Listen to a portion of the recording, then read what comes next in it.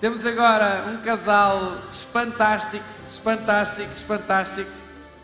E eu conheço uma das partes, uh, a parte mais fraca uh, do casal, e conheço há algum tempo. Sim, há sempre uma parte mais fraca, não é? Alguém tem que dar o braço a torcer e dizer sempre, a última palavra sempre é dele, que é sim, querida. E já o conheço há algum tempo e ele tem realmente, conscientemente, feito uma transformação enorme na sua vida, a todos os níveis, a todos os níveis. Uh, admiro muito, por exemplo, a determinação dele de estar bem fisicamente, de estar saudável, de, de fazer isso de uma forma realmente consciente e uh, propôs-se a esse objetivo e está ali nos trinques, é uma coisa que eu ambiciono, portanto a gente tem que modelar muitas pessoas, ele é o meu herói na parte do fitness além de outras pessoas ali como o Ruizinho e tal. Então eu estou a tentar, sem, sem, pronto, ainda sem a parte do. sem a parte do fitness, só a parte de beber muita água com. É um espetáculo. Está quase, está quase. Ótimo. Então, o que eu há muito tempo é também um guerreiro, é uma pessoa que não se nega ao trabalho, não se nega ao esforço, é uma pessoa que realmente sabe o que é que quer. Uh, várias vezes na sua vida, ao longo da sua vida, fez várias mudanças uh, para realmente conseguir a liberdade. A liberdade, a liberdade, a liberdade, ok? Vem também, vem também da bonita Ilha da Madeira, ajudem-me a receber Dinis Santos e Simone Catreiro! Uh!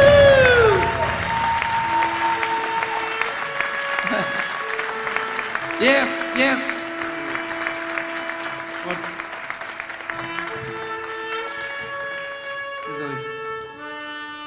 What's up, Palmas?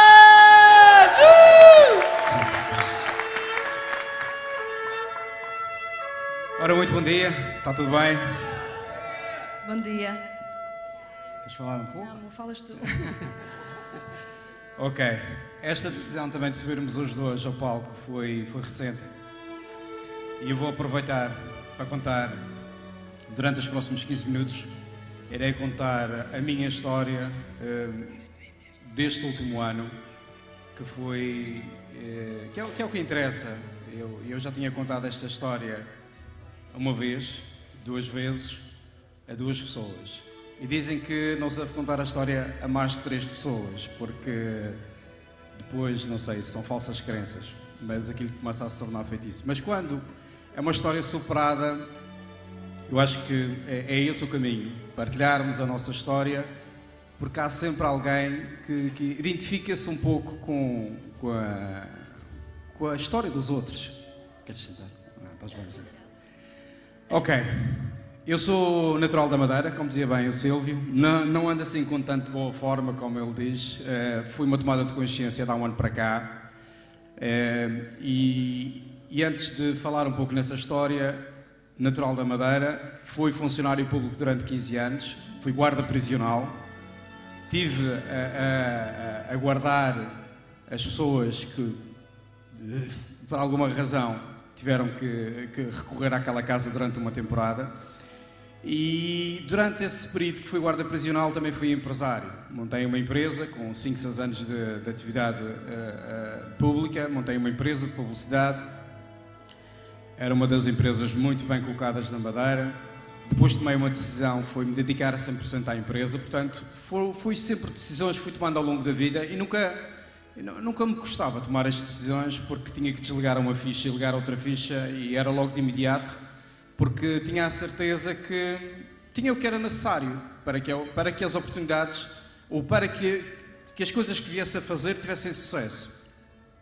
Nos últimos quatro anos para cá, cinco anos, conheci o network marketing Uh, entrei nessa empresa. Quando eu entrei nessa empresa, uh, o nível de formação, uh, não só não tenho formação académica, mas o nível de formação cultural era zero. E quando comecei a ver alguém a falar em, por exemplo, liguei-me ao YouTube, vi um vídeo do Tony Robbins a, a motivar as pessoas a falar, a desenvolvimento pessoal, coach. A questão que eu fiz foi: isto existe? Não sabia que isto existia. Portanto, tenho 40 anos, aos meus 35 tive essa consciência. Tive consciência que existe hoje em dia pessoas no mundo com a vontade de querer desbloquear as outras pessoas. Elas, a vontade delas é crescerem como, como pessoas e ajudarem as outras. E eu disse: é isto que eu quero fazer. É isto que eu quero fazer. Eu quero me desenvolver como pessoa, eu quero construir um modelo de negócio que as outras pessoas façam o mesmo. Claro que tudo isso está muito associado a ego, tudo isso está, está muito associado à nossa parte de, de querermos eh, sermos ou fazermos coisas que, que nos elevam e que, que nos, nos faz sentir bem. E comecei a desenvolver essa atividade dentro dessa empresa de network marketing durante quatro anos. Rapidamente, eh, em um ano e dois meses, cheguei eh, aos tops líderes de cá de Portugal e da Europa também. E, portanto, nada era difícil, porque era preciso era colocar a ação, e na ação maciça ou na ação massiva, tudo acontece. Tudo, tudo, tudo, tudo, tudo, tudo acontece. Mas quando não fazemos as coisas com verdade, quando não fazemos as coisas com verdade, o mesmo universo que dá, tira. Eu, ao longo da minha vida, construí muita coisa. Ao longo da minha vida, ganhei muito dinheiro. Aos 30 anos, construí a casa dos, dos meus sonhos. Casa com tudo e mais alguma coisa. Porque nada era difícil. Já os meus familiares diziam: Mas como é que tu és capaz? Será que consegues? Claro que eu consigo. E construía. Mas, como estava a dizer, tudo o que o universo dá, tira. E quando conheci esta nova realidade de crescimento pessoal, só havia uma forma de podermos ajudar as outras pessoas, que é sermos. Não há outra forma de ajudarmos ninguém se não formos. Eu não posso ajudar alguém a ganhar dinheiro se eu não ganho dinheiro. Eu não posso ajudar alguém a desbloquear aquele processo individual consigo mesmo de autoestima se eu não estiver bem de autoestima. Eu não posso ajudar um, um filho a dar um abraço na mãe e pedir-lhe perdão porque o papel dela foi só trazê-lo a este mundo quando eu não estou em paz com a minha mãe. Portanto, tudo isto era uma combinação perfeita, mas há que viver o processo. Eu ainda estou em processo e vou estar a vida inteira. E é essa aqui entra a minha história de há um ano para cá. Há um ano para cá, o universo começou a tirar, há um ano, mais, o universo começou a tirar as coisas. Primeiro as coisas físicas, e fui tirando, e fui tirando, e fui tirando. Difícil, inicialmente, para perder, não é? Quem é que gosta de perder a sua casa? Quem é que gosta de perder o carro? Quem é que gosta de perder o conforto? Quem é que gosta de perder, seja lá o que for? Ninguém gosta de perder. Ninguém, ninguém gosta de perder. Mas depois comecei a aceitar. Porque se eu construí aquilo, eu vou construir muito mais do que aquilo que já está construído. Muito, muito, muito mais. E se eu tenho que viver este caminho e este processo, irei vivê-lo com tranquilidade. Mas ninguém vive com, com tranquilidade. Acreditem que ninguém vive com tranquilidade. E depois das coisas físicas vieram as coisas emocionais. Porque toda a gente está preparado para seguir o caminho, ou dizíamos que estamos preparados mentalmente, mas emocionalmente não estamos preparados. Porque quando vem o exercício, testa-nos, o universo testa-nos. É isso que tu queres? Qual é o teu caminho? Qual é a tua missão? O que é que tu queres fazer? E o universo testa-nos. Há um ano e pouco atrás entrou a separação, o divórcio. Sempre estive casado com, com a minha ex-mulher. E nessa altura foi mesmo a altura mais difícil. Foi a altura mais difícil porque já tinha perdido tudo.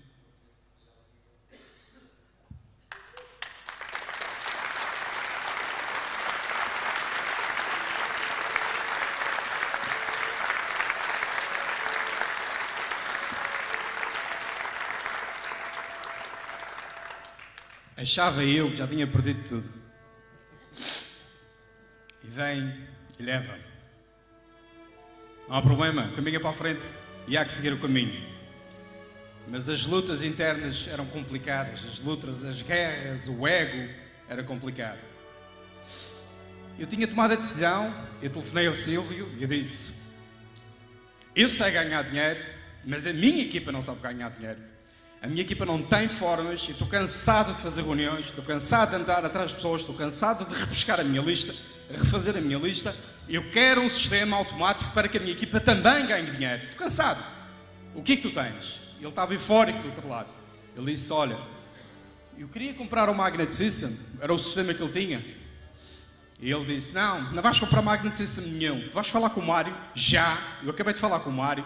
O Mário e a Carla estão comprometidos, querem fazer um negócio, fala com eles e eles podem te ajudar a fazer o novo negócio que eu conhecia. A ferramenta já está feita, fala com eles e, e começa a desenvolver. Nesse mesmo dia entrei em contato com o Mário e disse: Mário, o que, qual é o projeto que tu estás? Também queres estar? Se tu estás, eu também quero estar, o Silvio também está, também quero estar. Nesse dia jantámos. Nesse dia que nós jantamos os quatro, Mário, já não estávamos juntos.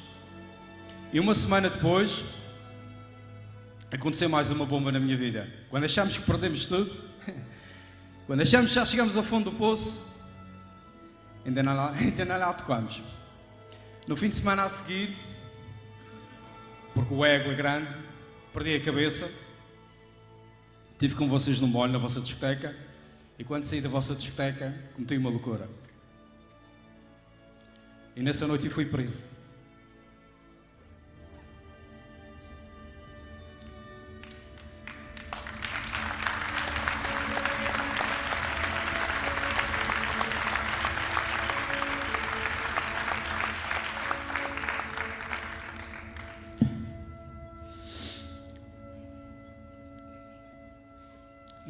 Estava sentado na, no carro da polícia.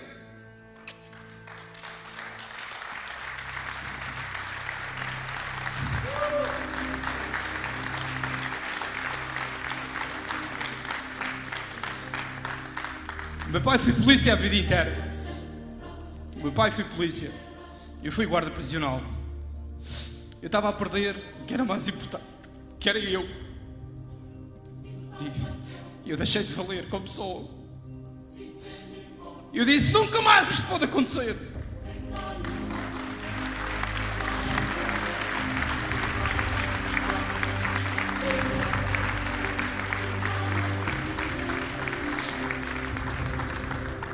Foi um momento de viragem. Naquele momento eu tomei uma decisão. Eu não posso deixar mais. Já bati no fundo. Eu não posso perder a, a minha integridade física. A polícia fez o que tinha a fazer, agrediu-me, bateu-me, fez, fez o que tinha a acontecer, a fazer. Disse: Não posso perder a minha integridade física, eu tenho que seguir o meu caminho. Porque o meu caminho é muito grande. O meu caminho é ajudar o outro, mas eu preciso de me ajudar primeiro. Tomei decisão, saí do país, fui viver com o meu irmão para a Alemanha. Ganhava o suficiente para viver numa Alemanha não estava ainda com a cabeça, não estava com o coração, nem powers, nem nada, não, não tinha, não tinha, não tinha nada orientado para que as coisas acontecessem. Meses depois entrei novamente em contato com o Silvio e disse: Não lhe disse, não lhe contei nada, mas disse: Eu agora quero fazer isto como deve ser. O que é que eu tenho que fazer? Três coisas: comprar os cursos todos, ser all-in, ir à convenção entrar no Clube de Insónias. E um líder, quando tem que fazer o que tem que fazer, o que é que faz? Faz, faz. Mais nada. E fui nessa viagem de Chicago, Mário, e muito obrigado, uma vez mais, porque lá em Chicago tu disseste: temos que ir para a Madeira. E tu vais para a Madeira, tu és um líder forte, tu tens os teus contactos, tu vais ativar a tua lista quente, tu vais ativar tudo aquilo que tiveres que ativar, mas vais fazer este negócio como deve ser. Mas eu ainda não estava preparado tecnicamente estava preparado aqui. O que é que é para fazer? Gerar 200 contactos, fazer e a... Todos nós já sabemos a mecânica. Mas o coração não estava preparado. Eu sou, eu sou 100% emocional, zero racional. Foi nessa viagem de Chicago que eu voltei a encontrar, 10 anos depois, voltei a encontrar uma boia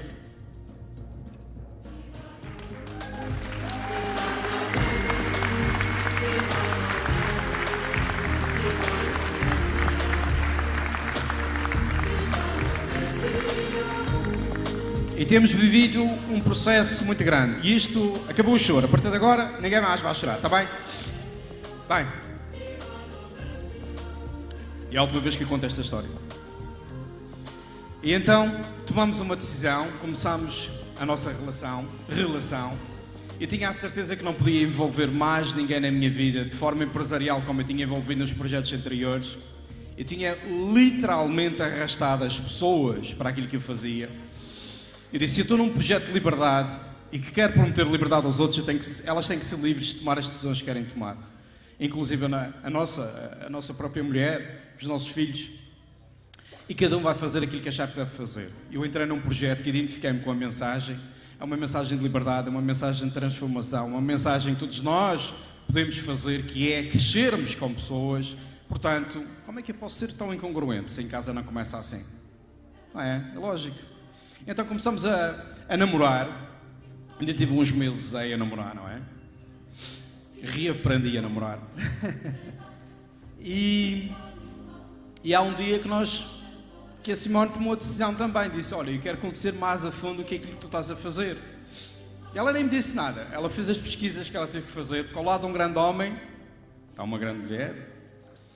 Ela fez as pesquisas que ela devia fazer. E ela disse: Olha, eu quero conhecer a equipa. Eu quero conhecer a equipa. E o ano passado, em novembro, no último Live Extreme, ela tomou a decisão de vir comigo. E ali no Live Extreme tomámos uma outra decisão empresarial. Vamos fazer o um negócio. Vamos. E então o que é, é necessário para fazer o um negócio? É simples. É querermos. é querermos fazer o um negócio. É evidente, os meus resultados nunca vão ser os vossos resultados. Os vossos resultados nunca irão ser os meus resultados, os nossos resultados. Porque cada um tem a sua história. Eu nunca tive dificuldades financeiras até há quatro anos para cá. Eu passei dificuldades que um dia, se eu tiver coragem, vou contar essa história. Mas eu não sabia o que era ter dificuldades financeiras. E tive. Mas mais importante no dia de hoje, porque é um dia super importante, porque vocês estão aqui com um compromisso de serem felizes, é eu vos passar a minha história, porque se eu consegui, vocês também conseguem. Se eu bati no fundo do poço e não tinha mais para escavar, vocês também podem bater e acreditem. Do fundo não passam mais. Só há uma hipótese a seguir, que é subir. E a partir de agora, o meu sonho, desde que eu entrei na Empower, é ganhar 100 mil euros por mês neste projeto. Não tenho dúvidas que isso vai acontecer.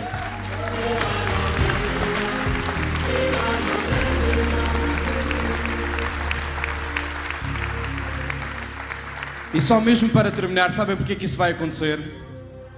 Então eu vou-vos dar um dado novo. Portugal e Espanha, como há 500 anos atrás, nós descobrimos um novo mundo. Sabiam que exatamente a Península Ibérica que vai redescobrir o novo mundo. Há um grupo de empresários que vai marcar a diferença. Vai se transformar e vai dar a oportunidade de outras pessoas se transformarem. Vamos mudar a economia, vamos mudar a filosofia de pensar, vamos mudar a política, vamos mudar a forma como estamos perante a vida, vamos poder desbloquear as outras pessoas, porque nós vamos estar preparados para isso, nós vamos estar desbloqueados, nós vamos atuar naquilo que temos que fazer. Yes! Uhul!